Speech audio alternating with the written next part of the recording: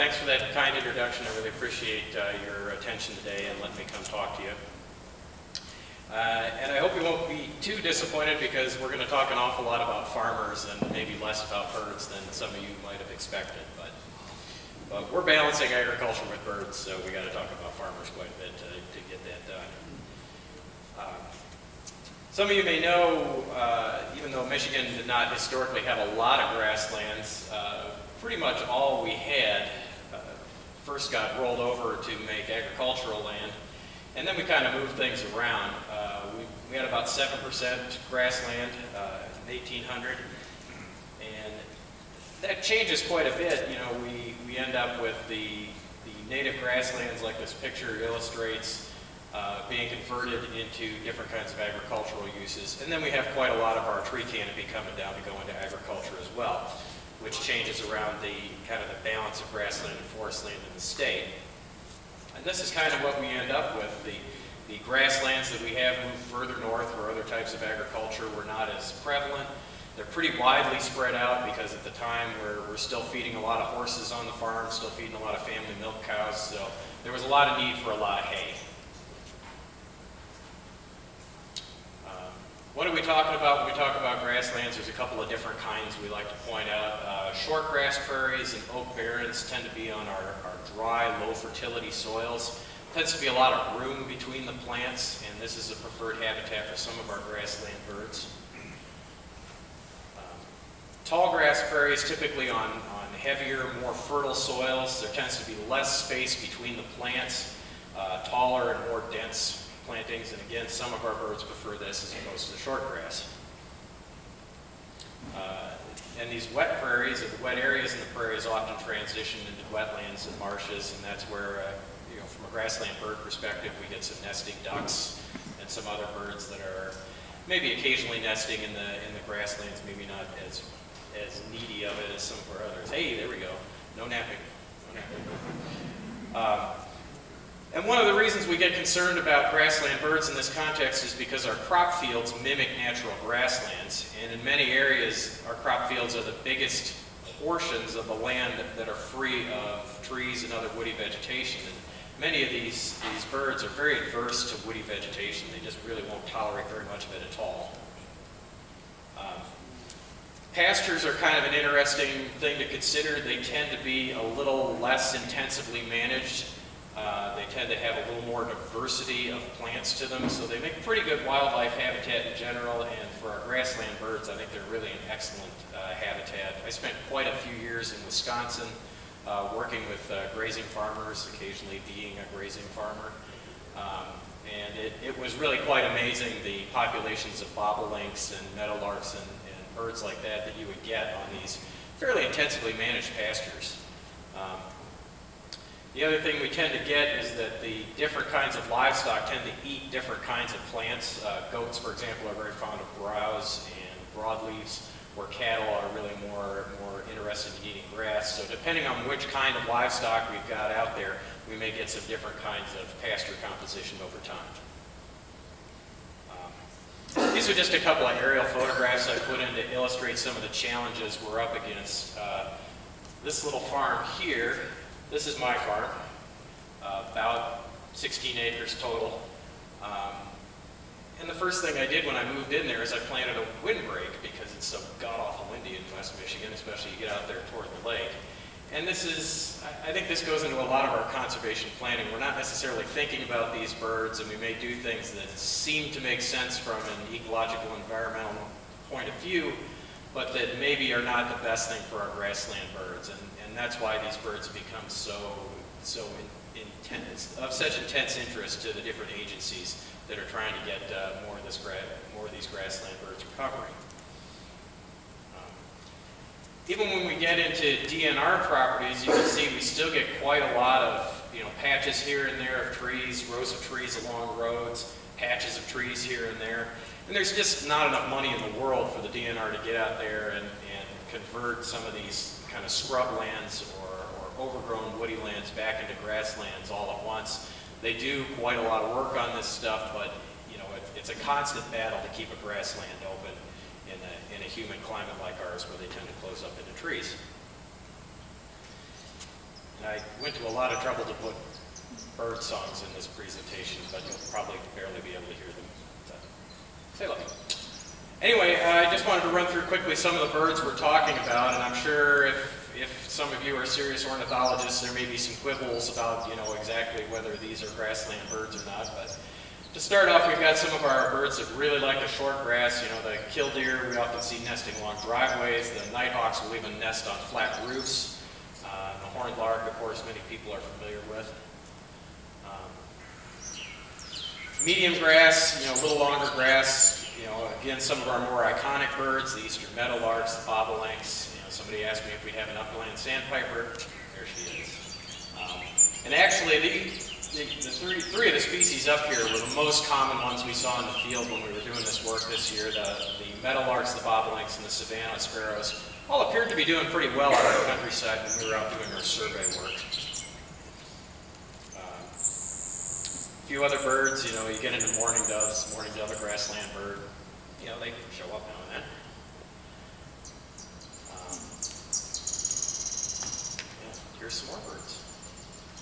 You guys who came just to look at birds, you really ought to enjoy this part because we're going to switch to talking about farmers a lot. and some of these species, you know, the red-winged blackbirds obviously are doing very well. You see, you see a lot of them out in the countryside. Goldfinches are doing pretty well. There's our Henslow sparrow our, our charming anecdote at the beginning there. And we actually did, we did detect one bobwhite when we were out surveying our farms this year, and that was pretty darn exciting for some of us. Um, uh, one of the things I've found as I've gotten out and started talking with people is, know, yes, people are interested in songbirds, but I would say more people tend to be interested in some of these game animals when you're just out talking in general with farmers. So as this uh, project has progressed, I've really kind of pushed some of that stuff forward, and I think it's it's important to engage these guys where they're at, and certainly a lot of them do like to hunt. Um, and a lot of them hunt deer, and so, and one of the aspects of this project, the flushing bars that we're going to talk about, do seem to be pretty effective at moving deer around also, so that's been a big one for us. And there actually is quite a lot of work going on in Michigan right now trying to get uh, breeding populations of pheasants recovered. Again, obviously a game animal, but one a lot of people are very, very interested in, and, and quite a beautiful animal, so I guess nothing wrong with that. Um, as a group, beyond maybe the birds in Hawaii that have taken quite a whooping, uh, the grassland birds have probably declined more than any other group of birds. Uh, many have declined 40 to 70 percent, and there's a lot of factors that go into this decline. I don't think we can lay it all at the feet of agriculture, but certainly there's a lot to answer for. Uh, a lot can be said about habitat fragmentation, and of course this goes on, you know, not only out in the countryside, but anytime there's a development, any kind of old field goes down, you know, we may see uh, habitats decline. Uh, some of our grassland birds really require very large blocks of, of open land, such as the upland sandpiper uh, here. Um, so even though we're, we're kind of programming at anything, we're, we're targeting anything bigger than 10 acres for, getting those fields out there, but that's not going to be sufficient for some of these animals. And that's again why we see an awful lot of these birds attracted to our agricultural fields because they tend to be a lot bigger and a lot squarer than a lot of the other fields that they've got access to. Um, one of the things we've got to think about is that edges are, are, where the predators are moving up and down generally. They like to move up and down those kind of, of brushy covered corridors. You know, and that's another reason to think about controlling some of this woody vegetation in any kind, anytime we're doing any work for grassland birds. You know, the predators are the usual suspects. Uh, you know, we, we've got the raccoons that had a banner year last year when we didn't have that cold winter. Um, unfortunately, a lot of our farms have way too many cats, and you know, it's not always popular to tell the farmer you really ought to thin down the herd a little bit. Um, we sometimes see the brown-headed cowbird getting a lot of grief. I will point out in the defense of the cowbirds that they've been here for about 150,000 years, and we didn't have a lot of problem before this. So I guess I don't personally worry too much about the cowbirds, and they do a wonderful job of picking bugs off of my cattle, so I guess I don't get too upset with them. And as I started thinking about this, I started learning more and more about, you know, some of these environmental concepts, and one of them that really stuck out to me is this concept of the sink. The idea that not only is the species going to fail to reproduce, but they're actually going to go backwards because we're killing the adult animal, the adult breeding pair or the adult breeding female, in addition to, to potentially wiping out uh, the offspring. So, and this, this is kind of building up to where the story goes. There's an awful lot said about farmers, as if they're this kind of big monolithic block, and I really don't think anything could be further from truth. There is a tremendous diversity among uh, agricultural producers, not only in size, but in attitude and, and, in their level of management capability, how much time and effort they're going to put into things like, uh, like the, the wildlife habitat around their farms. Um, and you guys are supposed to be laughing at this slide. This is much more than expect. And I went way out on a limb by making farmers a different species. So. but I, you know, they, I, I, do think I, do get very well. I hem and haw quite a bit when I start talking about farmers, just because I don't want to give the impression that there's some kind of monolith out there that that, that these guys aren't very diverse and, and have a lot of different thinking out there in the countryside. So what's happened on the farm? and, and how has that changed grassland birds? Uh, hay production has declined substantially from its height. Uh, we topped out at about two and a half million acres of hay, and we're now under a million acres of hay. Why has that happened? Well, probably the biggest, the two big factors. Number one, we stopped using actual equine horsepower. We just didn't have the demand for hay that we had at, at the height of using horses for farming. Uh, and the horses we have still kicking around the countryside tend to stand around and not work for a living very much. So they just don't eat like those guys that had to really work for a living all the time. The other thing that happened is that dairy farmers and other cattle farmers discovered corn silage, where they can grow out, go out and grow 20 tons to the acre of forage. They got to harvest it once a year, as opposed to when they're going out there and trying to harvest hay, where the yield is somewhat lower and they've got to harvest three and four times to get that yield. So corn silage has gotten very popular as they finally figured out how to not kill cattle too quickly while feeding them a lot of corn silage. Um, we're also cutting hay more often, and we're cutting it with faster equipment than we ever have in the past. Uh, the rise of a, a, machine called the disc mower, where instead of having a reciprocating blade, we've got a rotating blade. That's basically let the farmer go about two to three times as fast as they used to in the, in the field. And that, that can't be good for fleeing wildlife. And I, I, finally, I collect yearbooks of agriculture, and I finally had a chance to actually get them out and make some use of them. So I actually went back to 1867, uh, little after settlement, but not too long, and we've got about a million acres of hay at that point. By the time peaks, we've got almost 3 million acres in 1948. Uh, 1948, well, World War II is kind of the break point where horses are decisively pushed off the farm as, as working animals, and we pretty much go to 100% tractors and different machines at that point. By 1978, we're starting to see the rise of corn silage, and by 2007, we're back to that million acres of hay. And wouldn't surprise me if when we see the statistics coming out of the USDA, if that has dropped further because the price of corn went bananas a few years ago and an awful lot of hay got plowed up and put into corn. And you know, a funny thing happens, you know, a lot of unintended consequences is always out there. Price of hay this year, and I've actually got one of my farmers in the audience tonight, up 150% this year, 200%? Yeah, easily up, up that high with the drought and the freeze temp, freezing temperatures we had. So guys who hung on to their hay, they're pretty happy, reasonably happy. So how can we think about returning balance to agriculture in such a way that we can actually get out there, have the farmer make a good living, and still get some of these some of these birds back on the farm doing a little better? Well, I got a, one of these conservation innovation grants, which comes from uh, a branch of the USDA called the Natural Resources Conservation Service. You know, they're basically the conservation guys on the federal level. They gave some money to the DNR a few years ago to work on this, and the DNR decided they didn't want to work on it for the third year, so they gave it to the Michigan Department of Agriculture and Rural Development, and they didn't know what to do with it, so they gave it to me. And I am nothing if not a, a kind of adventurous go-getter, so I said, sure, we'll try that we'll see what we can do with that.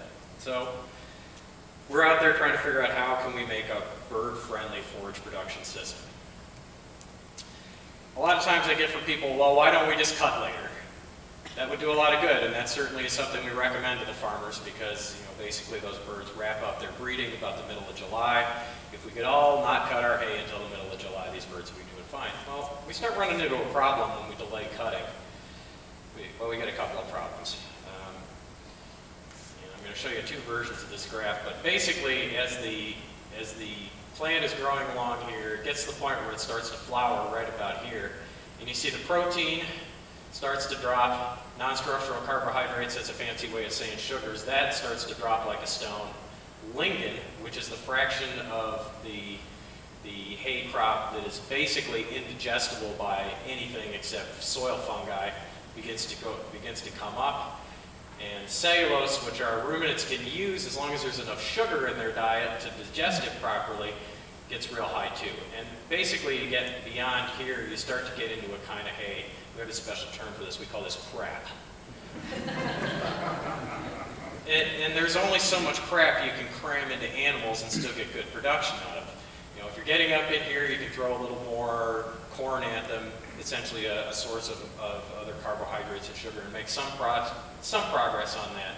But this lignin's really a killer because you're filling up that rumen with something that's completely indigestible and isn't going to do you any good at all. So it's a big deal to ask these guys not to cut their hay in a timely manner. And now I'm going to talk about it again just to really, you know, emphasize it. This is kind of where your nutritionist tells you you want to be for making the optimum, optimum hay, right here at bud. Well, that's end of May, beginning of June at the very latest. And you can push it out here a little bit, but, you know, again, as you can see, a lot of this, the forage digestibility, that's kind of what I was explaining on the other graph, that really starts to drop off. Now, I actually have seen some things recently, guys starting to rethink whether the animals can make some more, more and better use of this, and I certainly will be interested to see that, but, you know, as a general rule of thumb, younger hay is better quality hay, period. Um, the other thing to consider is that the margins on our farm are really vary in how how good you do in a given year. Uh, during the height of the economic crisis, we pretty much had 18 months of money-losing conditions for our dairy farmers especially. They just got hammered. And you get these guys coming out of a situation like that where they've probably been eating their equity for two years, two and a half years. It's very difficult again to try to get them to make these kinds of changes that are going to cut into forage quality. There's some other reasons that, it's hard to wait for a long time. A lot of guys store manure in these big lagoons. There's only so much storage capacity in there, and when that thing's full, it's full, and you got to go somewhere with it. And a lot of times they're going out on their hay ground in midsummer to get the get the amount of their uh, manure pumped down in their storage. There are some answers to that. You build a bigger manure pond. You know, you try not to put as much water in it, but you know, it's like, it's like everything else that deals with food. When you gotta go, you gotta go. Um, there's also this issue of uniformity. This guy's a real big problem. This smiling man is a dairy nutritionist. I'm sure a fine fellow, but it really upsets him when you don't have a uniform diet to feed your cows. Another thing to think about with the dairy industry is you've taken an animal that was, at the turn of the 20th century, was milking maybe seven, 8,000 pounds a year. It's very common now to milk dairy cattle for 40,000 pounds of milk a year. Some of the top producers can be making 60, 70,000 pounds of milk a year. So these are real metabolic athletes, and you got to push the groceries to those guys, or they're not going to make it. And it's not just a matter of production is going down. You can have problems with them uh, not rebreeding very well. You can have them get thin. Yeah, you basically have them dropping dead on you, which is always disappointing. So being a raging pragmatist, I kind of started looking into, you know, how can we help the birds, but not have to deal with these, these issues of forage quality quite so directly. Well, what can we do? Well, we can plant for a later harvest, and there's a couple of things we can consider. The first is warm season grasses, and this curve over here illustrates that. The blue line is what's called a cool season grass, or it, it, it does what's called C3 uh, photosynthesis. They're really good at growing in the kind of the cool, wet times of the year. So they're, they're really growing like crazy up in, in here, maybe petering out in, in May. They drop off in the summertime, and then you get another little bump in the fall. The warm season grasses start growing like crazy in May. They peak here about June, July. So if we could get a lot more guys growing this stuff, we would probably be in a better shape for the birds just because we would naturally be cutting premium quality forage later in the year. Um, legumes are a little more forgiving uh, than, than grasses are. This is why we grow so much alfalfa in this country. And we may be able to push them out uh, a little further. Nice thing about legumes is they also make free nitrogen. Nitrogen is actually about 25% of the entire production agriculture energy budget. We use a tremendous amount of natural gas to make artificial nitrogen in this country. If we could do, do it with more legumes, you know, that would probably be better for everybody's global energy balance. We can think about maturity dates within a, a, given species, and this is a little hard to read, but basically the spread you see uh, on each of these uh, peaks is between the earliest and the latest maturing varieties of a couple of different common uh, agronomic species. And you can see there's almost three weeks there. So if we can plant the absolute latest maturing variety of a given species we want to grow, that's certainly helpful.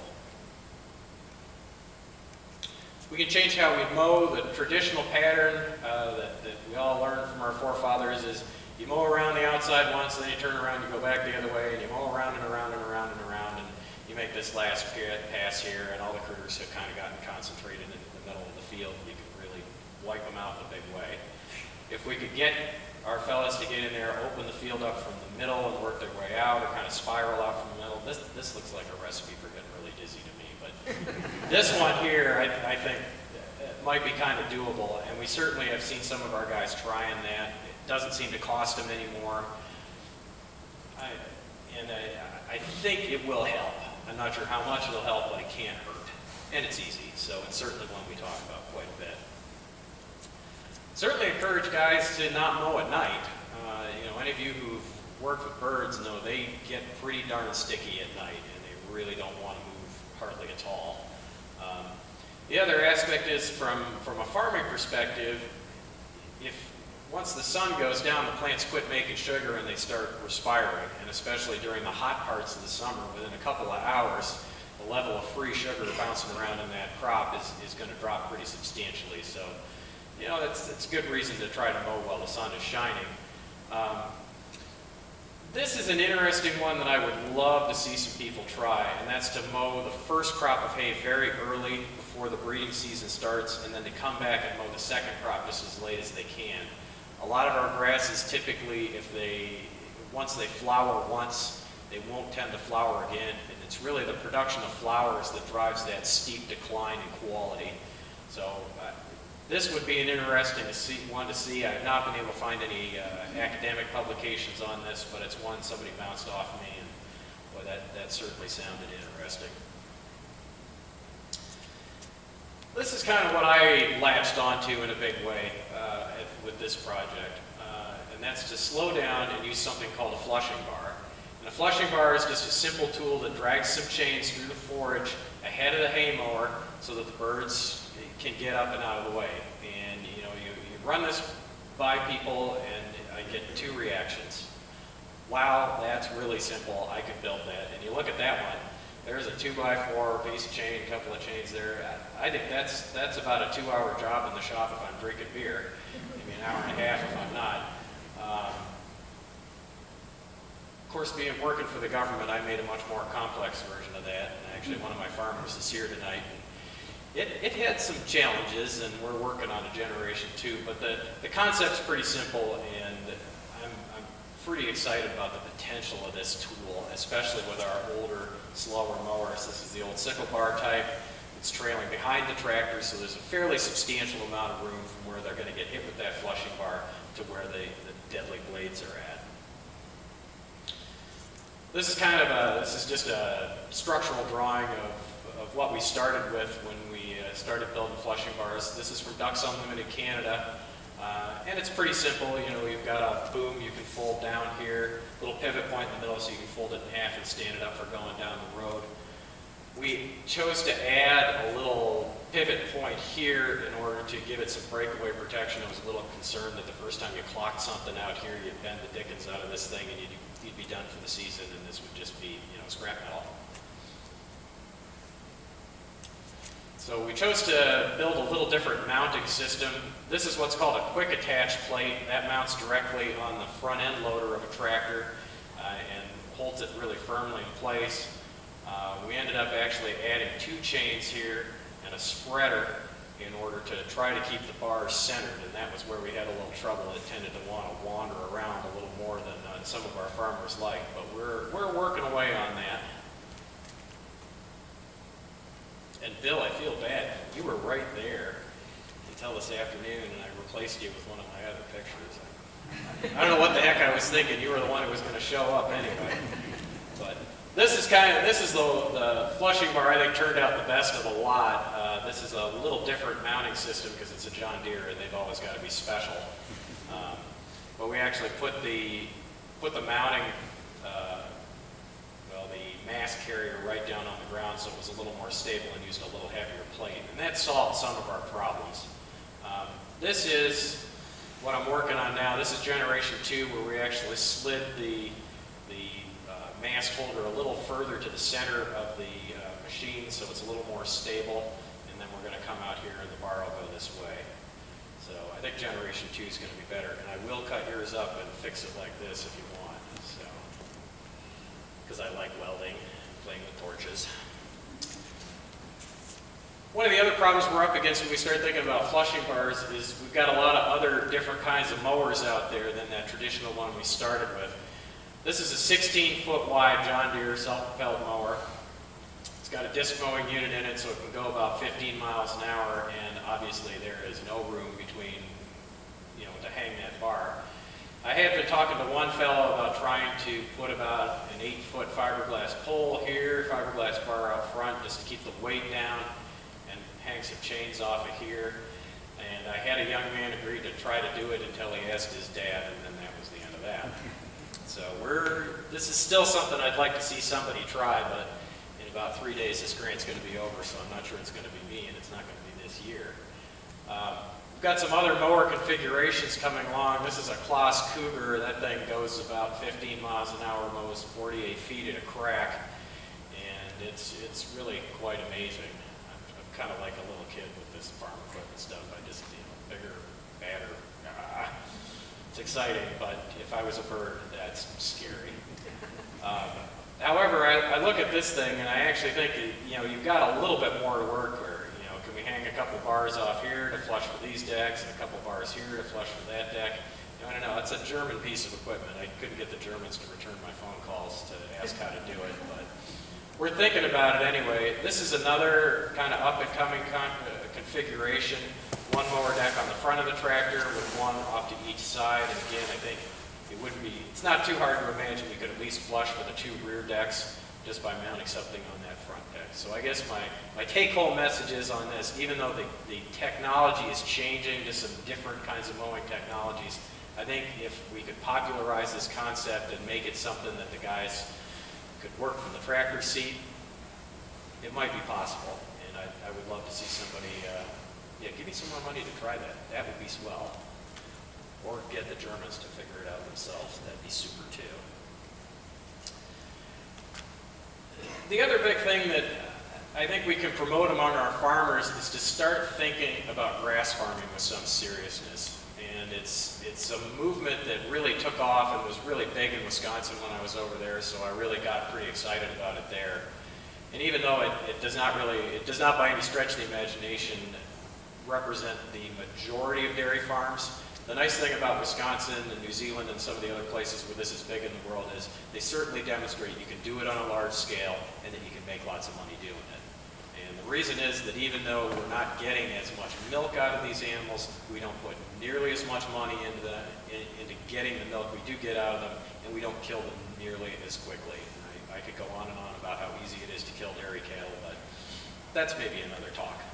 Um, management intensive grazing is, is one of the terms we use for it, rotational grazing, you know, whatever. You know, basically the idea being that you break your, your grassland up for your farm into something on the order of 15 to 30 paddocks or sub-pastures, and you rotate them around through the pastures, and that allows the grass to have time to recover and, and grow a, a, sufficient and good crop. Um, I've been on grass farms, on grass-based dairy farms with 2,000 cows. Been on grass-based dairy farms with 20 cows. It's pretty scale neutral, and I, I'd really be excited if we could see some more action on this front. Um, New Zealand's really where this type of farming became, became kind of a world beater. I'm sure you know New Zealand is kind of globally in the middle of nowhere. Um, and it's, it's a very heavily agricultural country, so they make a whole lot of milk concentrate powder and some other kind of industrial products from the milk, and they ship it all over the world. I will guarantee you, you have eaten New Zealand milk protein at some point. Uh, their cost of production per hundredweight is something like eight, nine dollars. In this country, it's more like 17, 18 dollars.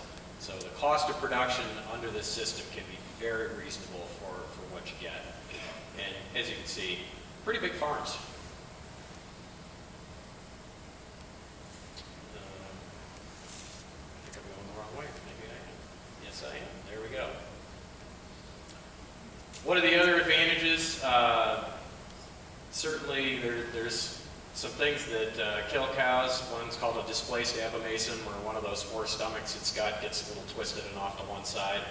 Uh, laminitis, which is where the feet go to heck on them, or it should be called delaminitis because the feet delaminate, and it's it's caused a lot of times by trying to feed cattle too little forage. Remember how they discovered that corn silage years ago?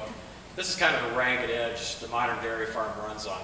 How much corn silage can I feed them before I blow the feed out on that happy guy who is mixing up the forage, who gets unhappy when you change things around, this is why he does not want any variation in his forage, because it is pretty easy to mess dairy cattle up if you're, if you're not paying attention to how you feed them. Um, management intensive grazing has been shown to be more consistently profitable than these other methods of farming. And, you know, there's, there's a lot of good examples out there globally to figure it out. Where am I going here? I am totally going the wrong way.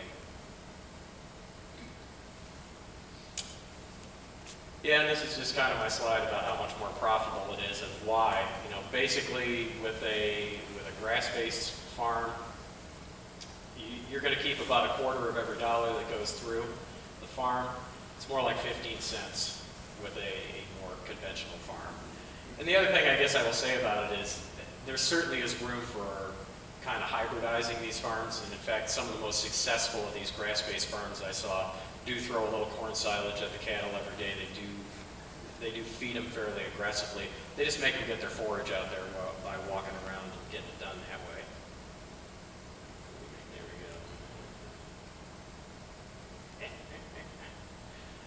go. And the existing infrastructure on farms is also usually very amenable to, to doing uh, this kind of grazing.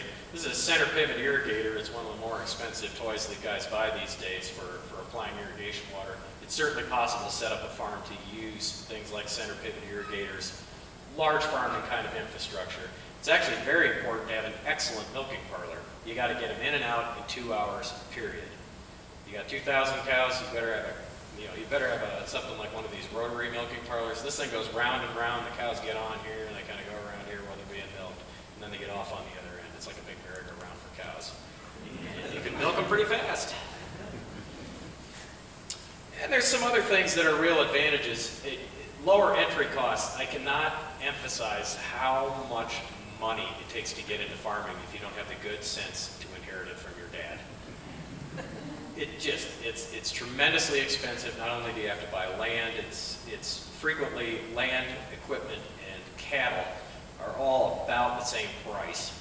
You know, as far as a block of money you got to lay your hands on. Um, it's more stable in, typically because you're growing a perennial crop that's there year after year. You're not out there trying to annually hammer in your corn and get these things done. I call it kid friendlier. Uh, you know, the, uh, the American farm is among the most dangerous workplaces in the country. We haven't quite caught up with coal mining yet or fishing, but you know, beyond those two, eh, we're, we're, we're a pretty good contender for, for a place to get injured or killed. And, well, you gotta watch out for the kids on the farm. They like to get out and about, and they're a whole lot like, like, less likely to get run over by a cow than they are a tractor. Uh, there are some unique marketing opportunities. You know, our little farm, markets grass-fed beef. You know, we don't feed them a stitch of corn, we just feed them grass. More and more marketing opportunities all got, all the time. This smiling guy on the bottom is Mike Gingrich. He's a guy I know in Wisconsin. Uh, he and another fellow, Dan Patton, have partnered to make themselves a little grass-based dairy. Dan ran the farm end of it. Mike here made the cheese. He's smiling because that cheese sells for 25 bucks a pound. And the first year he made this cheese, he won some great big glorious prize for it, and he's been making money hand over fist ever since. Is is one of the most genuinely happy guys in agriculture I know. And of course, soil erosion under grass is pretty much nothing. I swear, just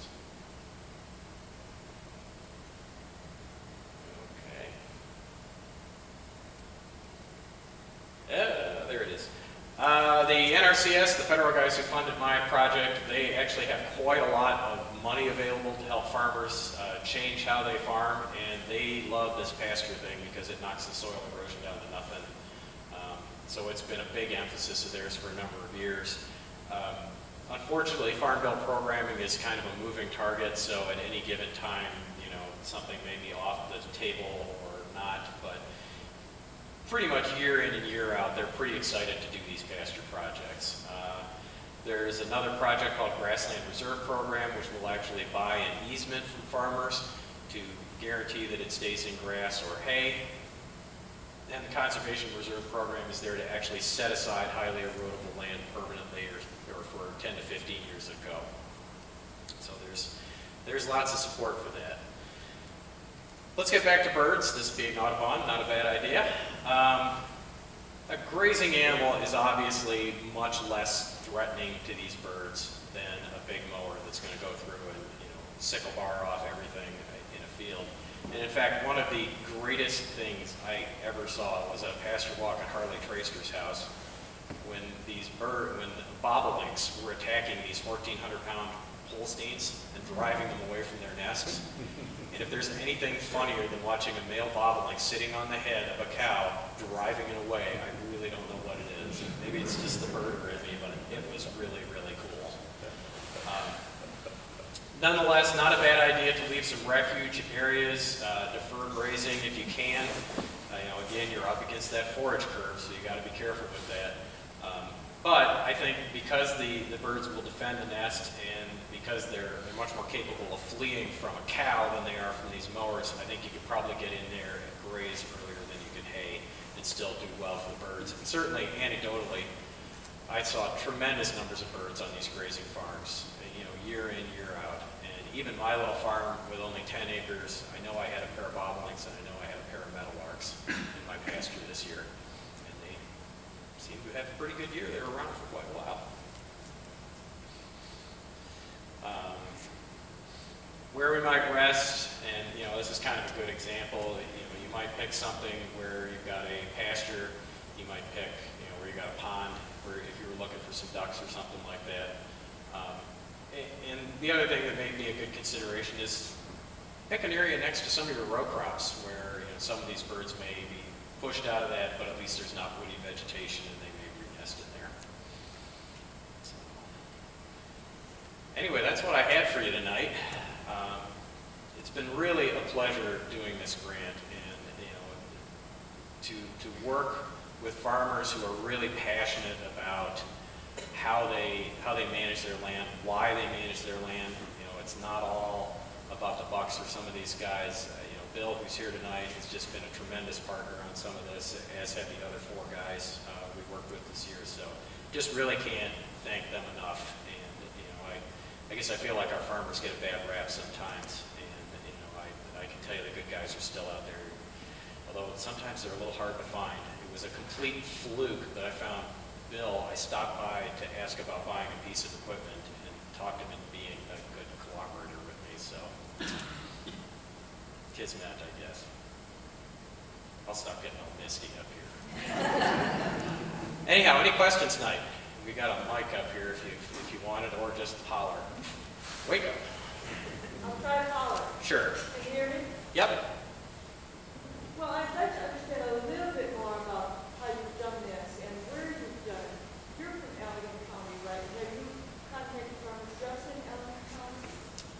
No, I worked primarily out of Allegan County and adjacent counties. Uh, I got as far south as Cass County. Um, all right, Cass, Van Buren, Allegan. I think that's it. And we certainly did outreach throughout the state. I, I gave this talk at the Great Lakes Forage Conference this year, and you know, and, and did a tabled at a couple other uh, conferences this year and talked directly with farmers, and it, it, it was pretty nice to, to just to talk to these guys because a lot of them were. Uh, I, I guess the most common answer I got when I introduced the concept of the flushing bar was, "That- "That looks easy. I could build that out of that I got laying around the farm." It was especially handy when their wives were there to kind of. you could build that. I'm hoping more of them got built than just the ones I built. And so will your ideas be promoted, for example, in Kent County by anyone, or what will happen now? Yes, um, we keep, we do maintain this website, flushingbarproject.net, um, and that'll, we're gonna keep that going as long as I'm working at the district, I'll guarantee that.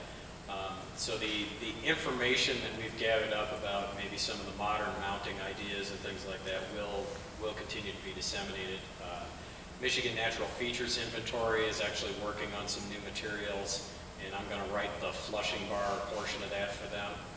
So I, I, I think the concept's gonna be out there. But, you know, frankly, the, the idea of the flushing bar, as far as I can tell, goes back just about as far as mechanical mowers. Um, You know, I found, you know, a uh, WPA, uh, Works Project Administration poster for the Pennsylvania Game Commission, where there's a picture of a flushing bar hanging off the, the horse collar in front of a horse mower. So it, it's not a new concept, you know, why it has not caught on as much in this area, I, I don't know. Uh, It seems to have caught on more in some places out west, where maybe they were doing a little more grass-based farming for a longer time. Go ahead. Uh, I was wondering about a couple of terms we had there.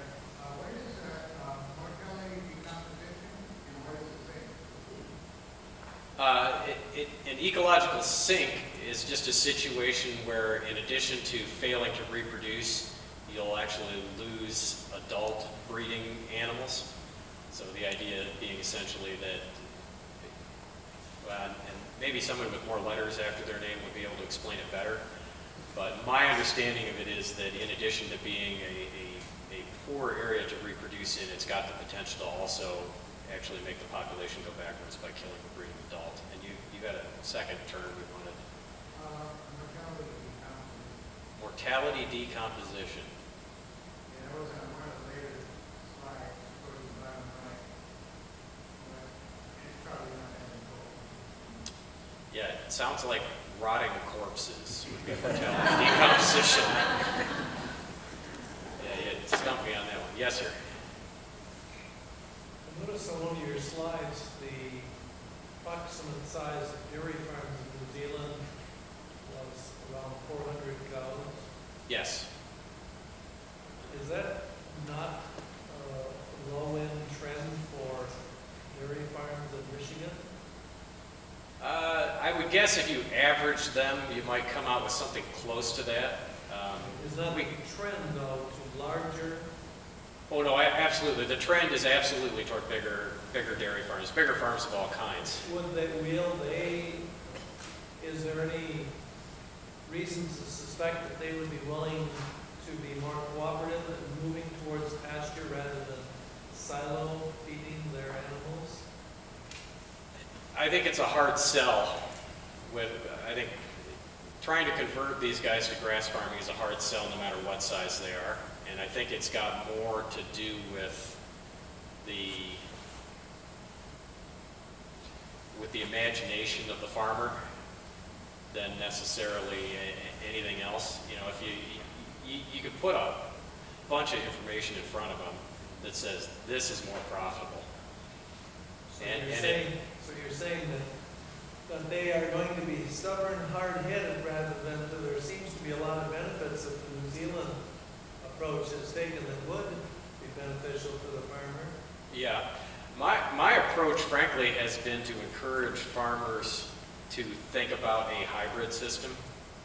Uh, On, on a typical dairy farm, you've essentially got three groups of adult cattle. You've got dry cows, uh, cows dry for about 60 days a year. There's no reason to keep that cow in the building, none. You know, you don't have to milk her. It'll be better for her if she was off the concrete. I mean, concrete is what really tears up their feet as much as anything else. Typically, there will be a high group and a low group depending on where they are in their lactation. Uh, Typical lactation's about 300 days. First 200, 220 days of that, they're milking along pretty, pretty strongly, but that starts to taper off toward the end. Again, that low group should be going outside, and that would, I think, have a lot of health benefits for those cattle. You know, you might be able to milk those cows once a day instead of twice a day as part of, you know, stepping down their lactation. So there certainly are things that any farm could do. Even just keeping their young stock on pasture would make a big difference. They come into production with better feet and legs. You know, they wouldn't already be two years behind the eight ball on concrete, and they'd be cheaper. Now, that, you, you could tell all of that to the guy, and he's gonna turn around and he's gonna go, I just spent a million bucks putting that barn up to put my young stock in. You know, why the heck? You pointy-headed little government man, would I want to not use that building I just spent all that money on? He's got a, he's got a point. He's got a point. And there, you know, a lot of these farms have a tremendous amount of infrastructure built onto them. A lot of times, the placement of the central of the farm is not real good. If you're gonna have a grass farm and you're gonna milk cattle on it, you really wanna put the facility as close to smack in the middle of your block of land as you can. Right, and, and work around the outsides. You know, if you've got a headquarters where you're essentially cut off from your, your land base, you know, what are you gonna do? So it's, it, it is a tough nut to crack, absolutely. New Zealand is a very good example, though, to be able to try to implement that. Yeah, but- but those guys never, they never built the barn. You know, they, they, uh, you know, in New Zealand, typical farm is, there's a milking parlor, and they might have a wet weather pad someplace where they can pull them off, but, you know, there's not a great big freestall barn generally. So Right. it's, it is, it is a real different situation out there. Yes, sir. Is there any um, incentive by government or otherwise to just set aside land to be fallow for birds? Yes, uh, there's a couple of them actually. The Conservation Reserve Program is a good one, and that is typically, uh, that, that's a 10 or 15-year contract to set aside a block of land. Uh, Typically, it's going to have to have something, I don't want to say wrong with it, but it, there's typically a preference for land with greater slope or land that's otherwise, you know, impaired for agriculture. Now, you know, it's, depending on the year, depending on how many people are interested in signing up, some of those, those criteria may move around a little. And what's been interesting the past couple of years is to see how much CRP land has come out of CRP and gone back into production because the price of corn has gotten so high that even if, even land that yielded relatively marginally, you know, at three dollar corn wasn't worth farming, at eight dollar corn, it's a whole different ballgame we've seen not only a tremendous amount of CRP come out, but just fallow ground, you know, kind of scrub land, old fields that, that were not in good shape.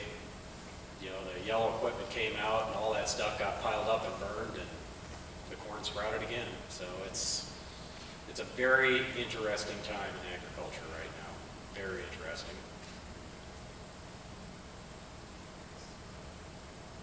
Anybody? Thank you.